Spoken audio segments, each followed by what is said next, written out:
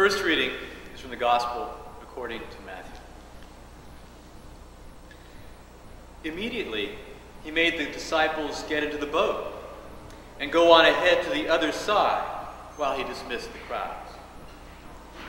And after he had dismissed the crowds, he went up to the mountain by himself to pray. When evening came, he was there alone, but by this time the boat, battered by the waves, was far from the land, for the wind was against them. And early in the morning he came walking towards them on the sea. But when the disciples saw him walking on the sea, they were terrified, saying, It's a ghost. And they cried out in fear. But immediately Jesus spoke to them and said, Take heart, it is I. Do not be afraid. Peter answered him, Lord, if it's you, command me to come to you on the water. He said, Come. So Peter got out of the boat, started walking on the water, and came towards Jesus. But when he noticed the strong wind, he became frightened and began to sink and cried out, Lord, save me. Jesus immediately reached out his hand and caught him, saying to him, You have little faith. Why do you doubt? When they got into the boat, the wind ceased. And those in the boat worshipped him, saying, Truly, you are the Son of God.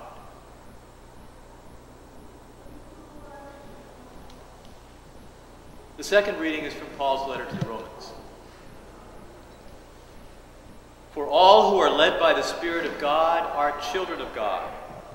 The Spirit you have received is not a spirit of slavery, leading you back into a life of fear, but a spirit of adoption, enabling us to cry, Abba, Father. The Spirit of God affirms to our spirit that we are children of God. And if children, then heirs, heirs of God, and fellow heirs with Christ. But we must share his suffering if we are also to share his glory. Here ends the reading.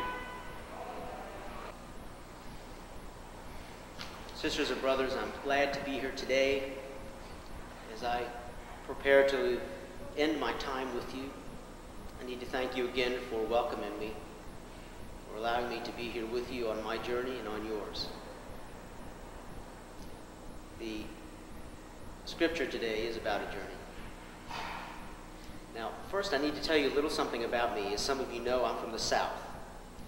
And the South is fundamentalist country, at least where I come from. And according to the fundamentalist reading of the gospel event, the miracle stories are there as evidence of Jesus' divinity. Jesus has command over natural forces, the miracles tell us. So therefore we should have faith that he is indeed the Son of God. And if we have faith, well then we are entitled, entitled to receive the benefits of the sacrifice. Gospel story is about Jesus marching to his death, fundamentalist reading of the scripture tells us. And so blood was spilled to appease an angry God. And if we have faith, then we can benefit from that sacrifice. All we have to do is believe in Jesus. But I believe that there is much more to it than that. The Jesus story is more than about a, a blood sacrifice and the wrath of God.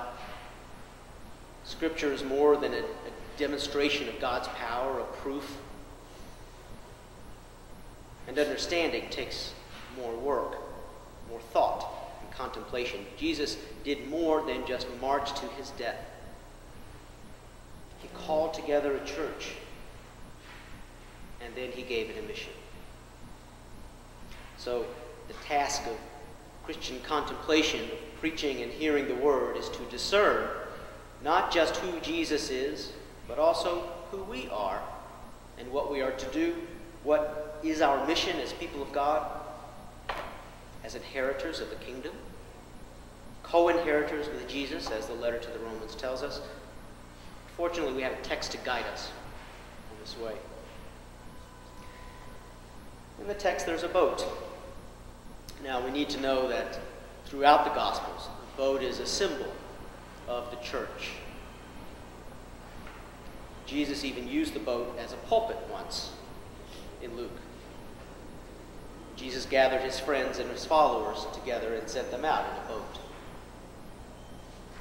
In this story, the apostles go ahead in a boat and uh, Jesus walks ahead.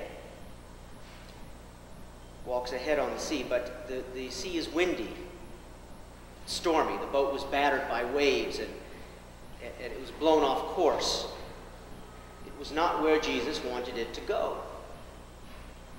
So Jesus walked toward the boat on the water, but not all the way on the boat. And this is important. He stood apart. Now, personal agendas often get in the way of being able to be with Jesus, following Jesus, and doing the work to which we've been called. Peter had a personal agenda. You may remember that Peter was always in competition with John, the one whom Jesus loved. Peter always wanted to outperform him. To, he, he wanted to, uh, to, to perform a miracle. He wants to be the favorite. He wants to be recognized.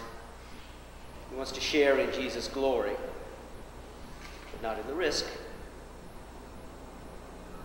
But Jesus doesn't feed Peter's ego as Jesus often does, he uses this as an opportunity to teach. So, when Peter wanted to prove himself the greatest, Jesus said, Okay, come. Often in Scripture, there's a single word or phrase that is, in fact, the, the interpretive key to the entire story. And this is that key come What a powerful word and, and, and a central message in the scriptures. Has anyone here been called? You have. We all have. The first lesson of the scripture is that Jesus calls his disciples to follow him. Jesus beckons to Peter and says, Come. But from here, things don't happen quite the way that Peter had planned. Things get rough in the water.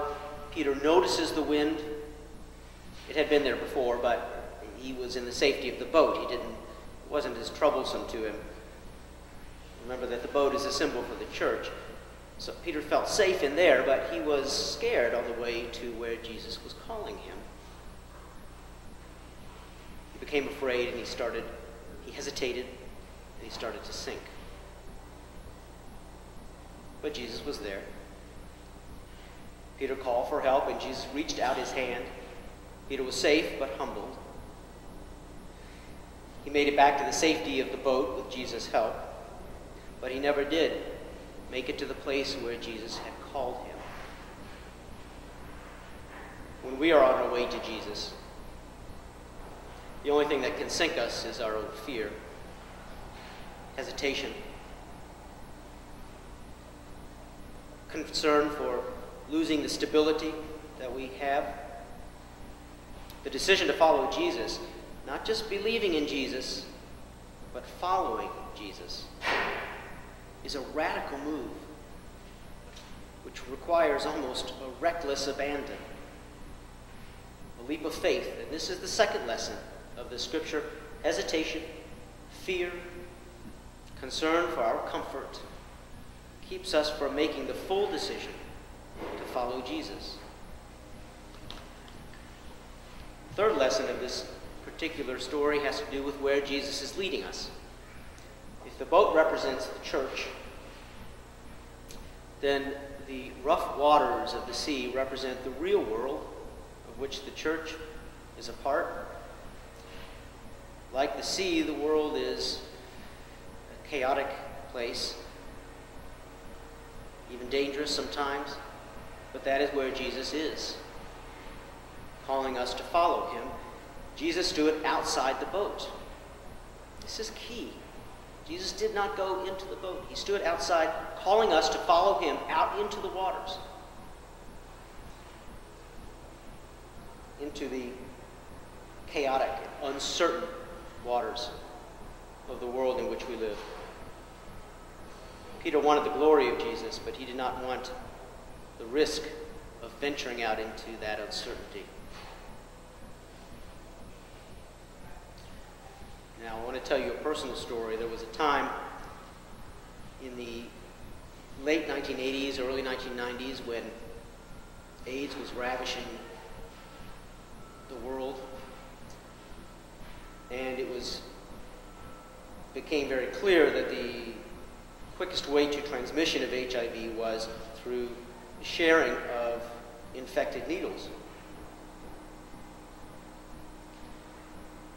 There were groups of us around the country who made the commitment to go to where people were and distribute clean hypodermic needles to them. Not to encourage drug use, but so that if until they can get to the point in their lives when they can stop using the drug, they at least can slow the spread of HIV. So we went into neighborhoods that often were not the neighborhoods in which we had grown up. My particular route was in a place called the Combat Zone in Boston. This was the red light district, a place where prostitutes and, and uh, hustlers and drug dealers go. But this is where Jesus was, I believe. And so we went to the combat zone, my partner and I, and exchanged needles. And my mother did not like this. People said, What are you doing? You can't go in that neighborhood, it's dangerous. But it's where I had to go because it's where Jesus was calling me. And it didn't matter that it was an uncomfortable place to be. It's where the work of God was for me at that time.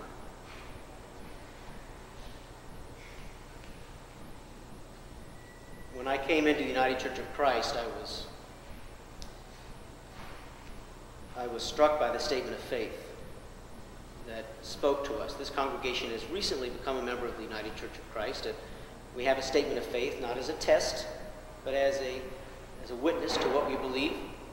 and, I, and I want to read to you one part of that statement of faith. God calls us into the church to accept the cost and joy of discipleship, to be the servants in the service of the whole human family, to proclaim the gospel to all the world, to resist the powers of evil, to share in Christ's baptism and eat at Christ's table, to join in Christ's passion and victory. To really follow Jesus means to go where he beckons, even if it seems uncertain, frightening, unfamiliar. We are not called to cling to the safety of the church, of these walls, but to venture forth into a dying world to carry a message of responsibility, of hope, of freedom. Our mission is not the maintenance of our own comfort, but the healing of the world outside these walls. Following Jesus does not mean, like the Gnostics believed in the first century, that we withdraw from the world. It's true, Jesus did begin this story by going to pray, going alone, but he didn't stay there. He prayed to receive the guidance and the strength he needed to then go out and teach and minister. Following Jesus means sometimes we go into uncharted territory, into the real world of suffering, death, It means that we struggle against life denying structures in the real world of human politics. It means that we follow our conscience, if that is to protest against the death penalty, to begin a prison ministry, to volunteer at a homeless shelter, work for a political campaign if we believe that the candidate represents what we believe is true and right, to follow Jesus into the rough waters of the sea means to educate ourselves about gentrification, about the devastating effects of, of global warming, the genocidal effects of free trade.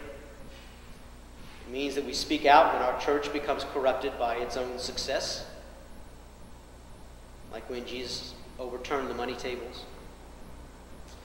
It means being willing to forego our own privilege in order to be of service. It means that we be willing to leave the safety of our own nests in order to be more faithful to Jesus' call.